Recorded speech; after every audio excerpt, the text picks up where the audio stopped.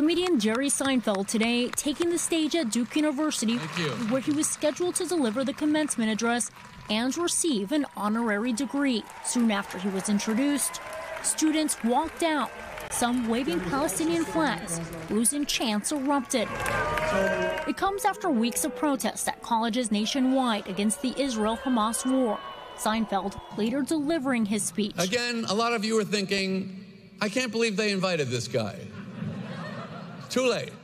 I say, use your privilege. I grew up a Jewish boy from New York. That is a privilege if you want to be a comedian.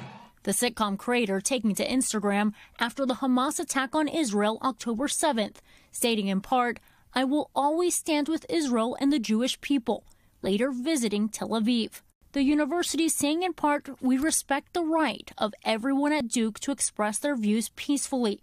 It's the latest in a series of weekend interruptions at graduations across the country. At UC Berkeley, the student body president's speech was interrupted by chants. This wouldn't be Berkeley without a protest, so I get it. In Wisconsin, a handful of students turned their backs on the chancellor, some wearing graduation caps with messages like Free Palestine. And at the University of Texas, dozens protested on campus after the ceremony concluded. The tension on campuses nationwide coming to a boiling point just as universities and colleges break for the summer. Elwin Lopez, NBC News. Thanks for watching. Stay updated about breaking news and top stories on the NBC News app or follow us on social media.